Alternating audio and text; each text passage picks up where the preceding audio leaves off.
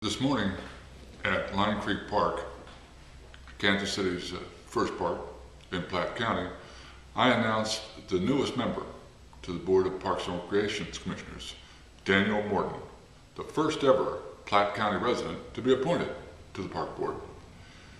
Daniel has a resume that is perfect for the job.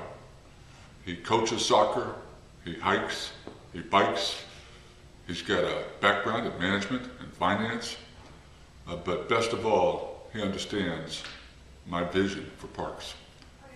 Parks are for people.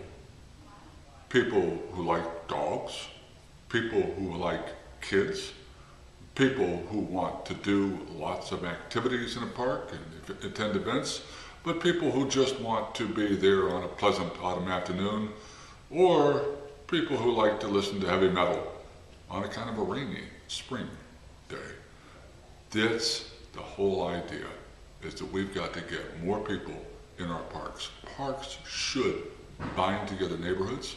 They should bind together families. That's what I saw when I was raising my kids here in Kansas City, when I took them to Gillham Park for Santa's Wonderland, or when I took them to Arbor Villa Park to meet the other neighbors and build relationships. We cannot survive as a city with drive-by parks. We need to thrive with parks as community anchors. Uh, I'm thrilled to have Daniel on the park board. I think he absolutely gets that, and he has the skill to help the other park board members make that happen. So, congratulations, Daniel, and thanks for signing on.